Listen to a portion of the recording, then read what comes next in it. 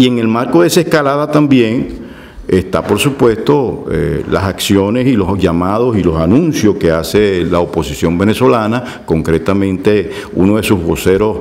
eh, más destacados, como es, como es este, eh,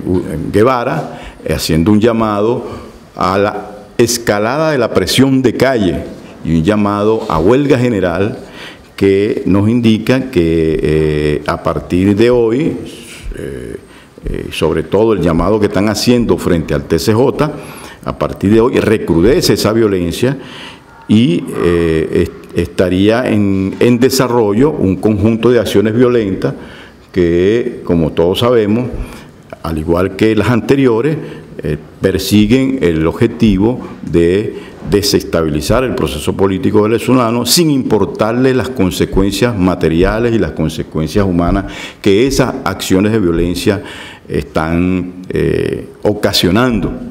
E inclusive eh, la, la, utilización de jóvenes y de niños en acciones de este tipo, convirtiéndolas en carnes de cañón a esas acciones de violencia, son completamente condenables por el Partido Comunista. Y en ese sentido, en ese contexto, eh, exigimos a la, a la ciudadana fiscal de la República a que actúe en consecuencia eh, accionando o activando la acción penal contra esos personeros, contra esos sectores de la ultraderecha fascista,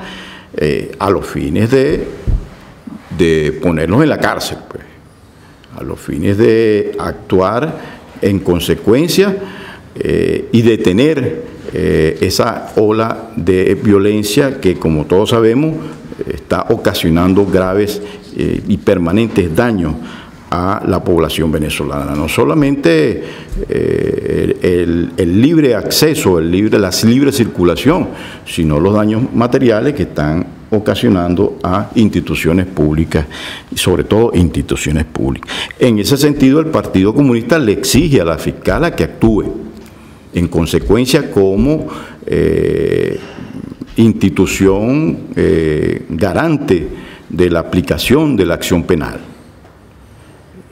Y de lo contrario, de lo contrario, la fiscal se está convirtiendo en instrumento de quiebre de la institucionalidad del país. Se está convirtiendo en instrumento al servicio de los intereses y del plan conspirativo y de la ultraderecha fascista y del imperialismo. Porque el no actuar está creando un clima, unas condiciones para que se recrudezca esa violencia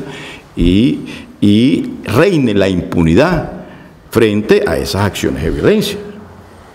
Es decir, el no actuar implica entonces que los sectores, las bandas eh, mercenarias al servicio de los sectores fascistas eh, actuarían con la mayor libertad posible, con la mayor impunidad posible, generando todos estos daños, generando todas estas eh, pérdidas humanas, y por supuesto eh, eh,